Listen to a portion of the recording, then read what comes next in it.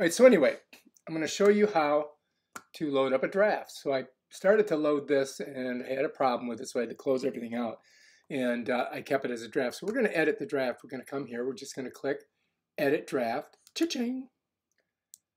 And let me minimize it again. And then it's going to bring up this little box here. And you can see it's not wanting to give it to me. So I've got to do a little fooling around with it.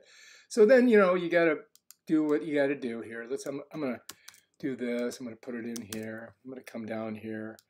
I'm going to select, I don't know, how to, and we're going to do that. And we're going to go over here. Let's put how to put D batteries.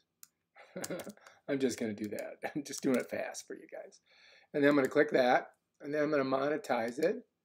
Cha-ching. And now it's going to give me the ability to self-check. So I'm going to come down here. It's none of these things because it's about putting batteries in a lantern. I'm going to click that submit rating. Then I'm going to click next. And I'm going to click next. And I'm going to click next. And I'm going to click next. And guess what? It's going to go ahead and publish it. All right. But it's going to be unlisted. But I do have my monetization on. So to list it, I just come here, click it, hit public, and publish. Bam, Bob's your uncle. Look at that. It's public now. People can watch it. Might as well do this one while I'm here. And that's how you publish a draft video. If you like this video, subscribe to my channel and check out my other awesome videos where I show you how to do stuff on YouTube. Peace out.